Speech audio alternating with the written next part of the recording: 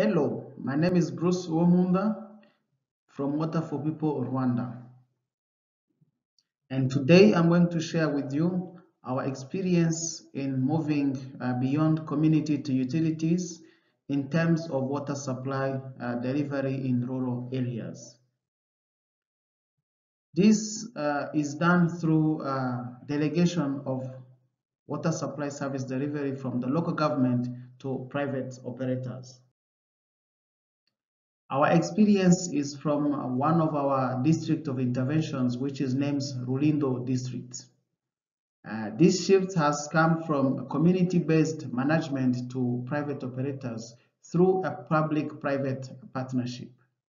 This has come from a bad experience of the community-based management where the service were stopped um, so many times because the operation maintenance were not done properly and when asked to the community, it was not clear who is responsible to ensure that operation and maintenance. The Rulindo district is composed of gravity and uh, powered uh, systems, pumped systems, which sometimes pumped up to 400 meters. It is composed uh, with 63 uh, water supply systems that are serving more than 300,000 people. This uh, shift from community to public-private uh, partnership is embedded into the national policy. And the district has normally a, uh, a, a choice to sign contract with uh, private operators. And from our experience, uh, we came to reduce the number of private operators to two people, two contracts two individuals, two private companies, which has now been reduced to a single private operator who is now managing the entire district because uh, the former ones has uh, resigned. Our role as Water for People is to help the district and the private operator to understand the full life cycle cost. And this is done through a, a tool that we call at what cost model. The tool helps the private operator to understand uh, its expenditure and its revenues and project it in the future to understand uh, the, the, the, the, projection of uh, his costs and to see if he's making profit or not.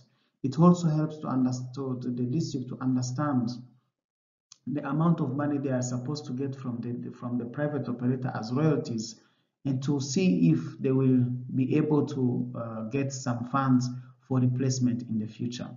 The tool also helps to understand what could be the proposed tariff in terms of uh, balancing the expenditures and the revenues and to see what are the adjustments that are needed in order to ensure a benefit and an affordable tariff to the, the population.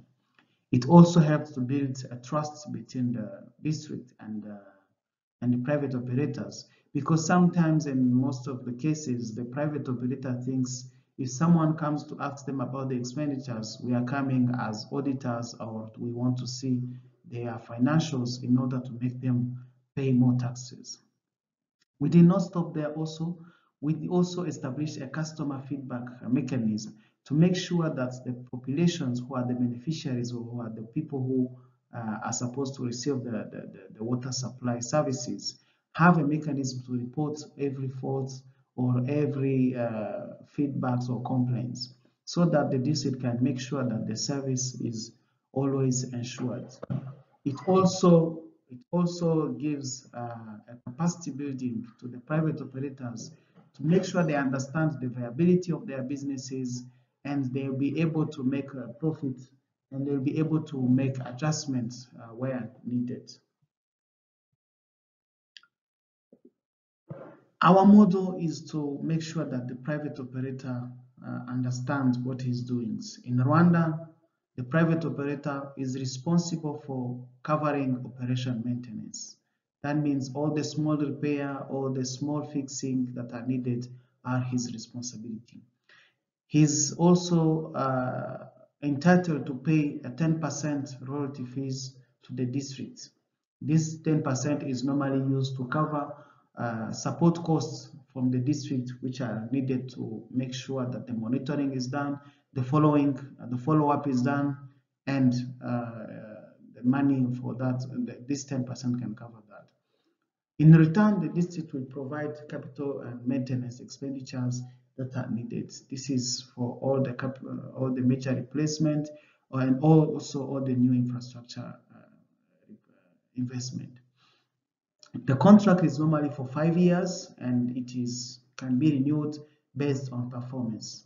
And of course, there's uh, regular performance monitoring to make sure that uh, the service is always provided and the service provider is reporting to the district on a monthly basis.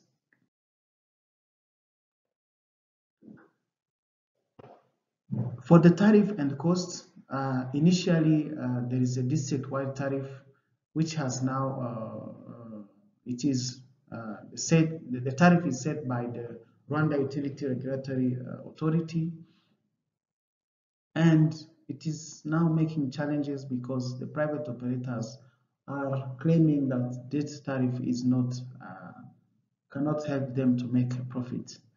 This is a challenge because uh, a system can be different from another one. Someone pumping from 400 meters is uh, will make will not make the same profit as someone who's pumping to maybe 10 meter. And this is this vary from a region to another one. There's a hilly region and there's a flat region, and this national tariff is not helping at all. However, we are uh, seeing to see how we can support national level to make sure that we understand the full tariff that is needed. So for the people who are pumping water on hilly places on the mountainous places, it is making a challenge because sometimes they have to, uh, to incur high operating costs and high pumping costs, which are very challenging. And the operator maintenance, as I said, is covered by the private operator and the capital replacement are uh, covered by the district.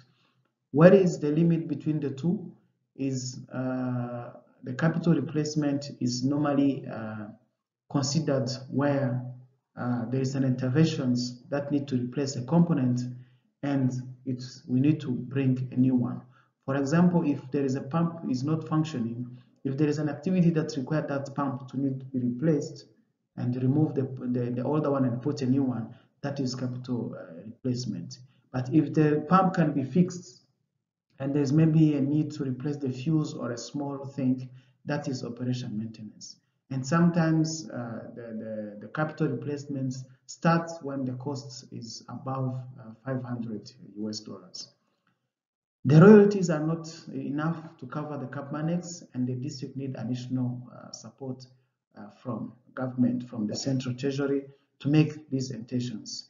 There are also intense incentives to increase household connections to make sure that we increase the number of uh, customers. We are not stopping at the district level and Rulindo district, but we are trying to promote this model and scaling it up at national level. And to make sure that all the systems that are not managed by WASAC, I did not mention it in the beginning, but in Rwanda, WASAC, which is the water utility, national water utility is responsible for water supply delivery in all urban areas. But for the rural urban area, for the rural areas, the service delivery is uh, is ensured by uh, private operators who sign contract with the district. So those ones um, will make sure that this model for rural water supply service delivery is covered uh, uh by using our model and uh, it is scaled up at national level. We still have questions around tariff and the balance between the cost because sometimes even the private operators do not tell the truth and sometimes they want to hide their expenditure costs or they want to increase their expenditure costs to, in order to pay less royalties and less taxes. However, the choice around the size of the mini utilities and the number of price operator is important because when you deal with a reduced number of people, and the reduced number of contracts, you can have an efficient management. Instead of dealing with 10 contracts, when you deal with two contracts, it is uh, very helpful and you make sure you know who to ask and where to ask it. So this model has proven uh, some results, some good results, and we are seeing in how we can uh, scale this model at country level. Thank you. This is what I wanted to share with you today.